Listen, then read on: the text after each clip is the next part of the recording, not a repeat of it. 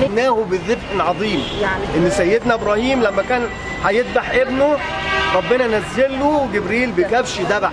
كبش. وربنا بيقول فصل. لربك وانحر. النحر النحر اللي هو في الإيه؟ في ال في ال في ال في ال في ال البقر والجمال والغنم وال كده.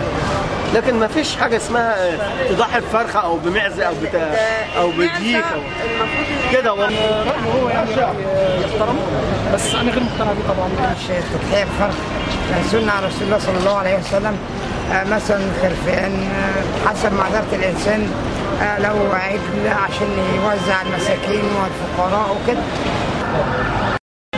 أيام الرسول ان هي الكفار ليه؟